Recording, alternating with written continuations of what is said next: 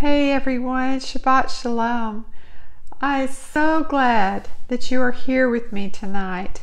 I, I know that you must be enjoying leftovers from Thanksgiving.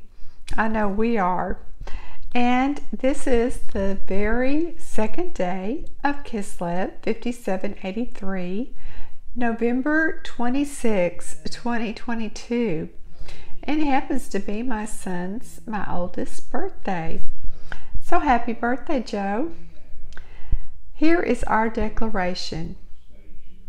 I decree to trust in the Lord with all my heart and lean not on my own understanding. I rest in knowing the work of righteousness is finished at the cross.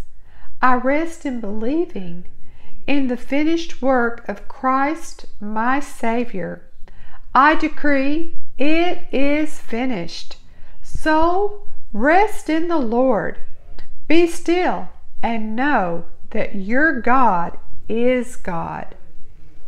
I have included a wonderful song that was sung at my church, Gateway Worship. It is called It Is Finished. Very appropriate song for this declaration, and I know it's going to be a blessing to you.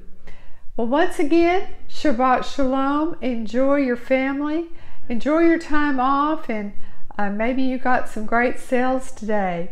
Whatever you are doing, I pray that you are blessed in Jesus' name.